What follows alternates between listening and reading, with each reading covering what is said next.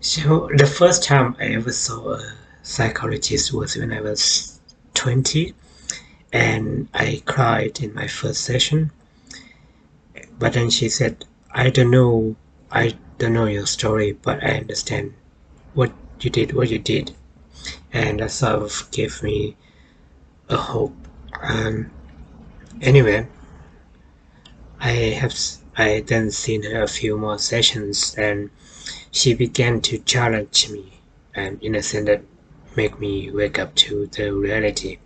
And then years later I moved from Western Australia to New South Wales and uh, a friend of mine recommended for me to see a psychologist so I did. I went to see the psychologist.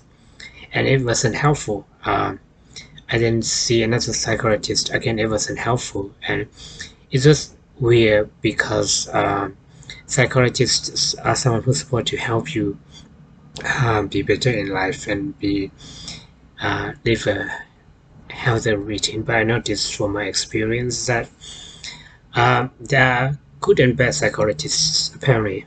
And that's kind of sad. And the way to tell the difference between good and bad psychologists is that you need to ask yourself do you feel good after seeing this particular psychologist or do you feel bad or you feel worse? If you feel good that's a sign that it's a good psychologist but if you feel bad if you feel being patronized or you feel like you're being talked down like a five years old and this sort of sign gives you a clue of what to do next the good thing about seeing psychologists now is that you don't have to call them right away to tell that you no longer want to see them. You just call up the reception and they'll handle your cancellation for seeing the psychologist. Because when you think about it, psychologists are people who making money from listening to you. And just because they qualify doesn't mean they have um, momentum to really try to help you understand your problem. My experience is that a lot of the time my psychologist would tell me what was important and what was not and where I should focus on.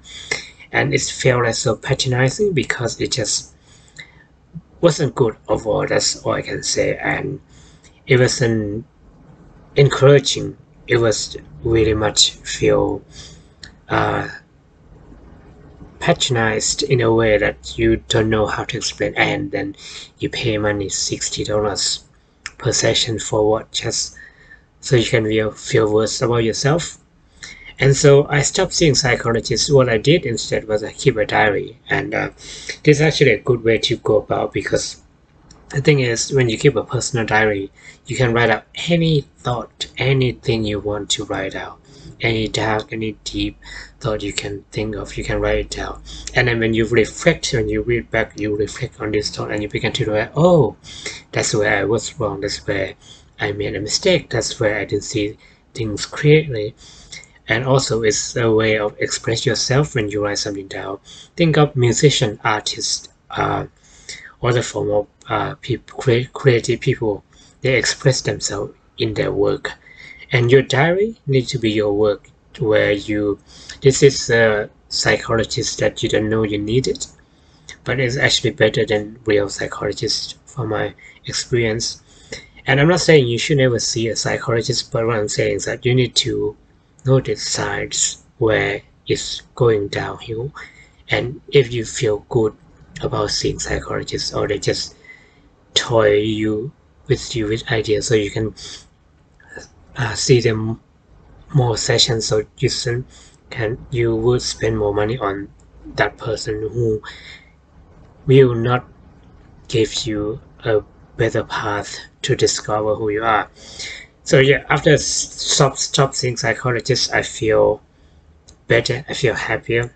Um actually happier that i'm no longer need a psychologist all i need is a notebook and a pen and I can just write out anything I want and I just read and reflect on that. So this type of self-assessment, uh, self-therapy is better than seeing psychologist. That's uh, from my experience.